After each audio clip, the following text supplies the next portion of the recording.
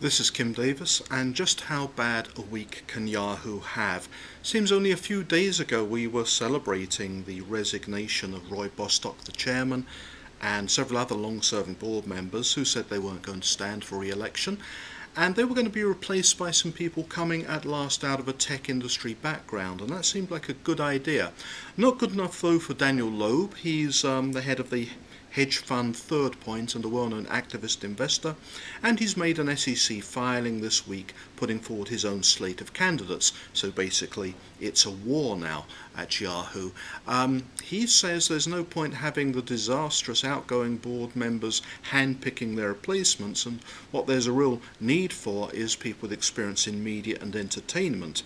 And he is offering, in addition to himself, Jeff Zucker, former NBC Universal CEO, and Michael J. Wolf from MTV, presumably people who can bring the kind of experience he thinks Yahoo needs. And where does that leave Scott Thompson, brand new CEO, replaced Carol Bartz, the latest in a in a rapid line of Yahoo CEOs? Will he command the support of these third point board uh, candidates if, if they're elected. Just don't know. And as if that's not bad enough, Yahoo's also been looking around for an injection of cash. Um, a number of investment deals didn't come off, and what it seemed to be going for was a deal with Alibaba whereby Alibaba would reacquire um, Yahoo's 40% stake in it, and that was going to be a very cash rich deal, billions of dollars.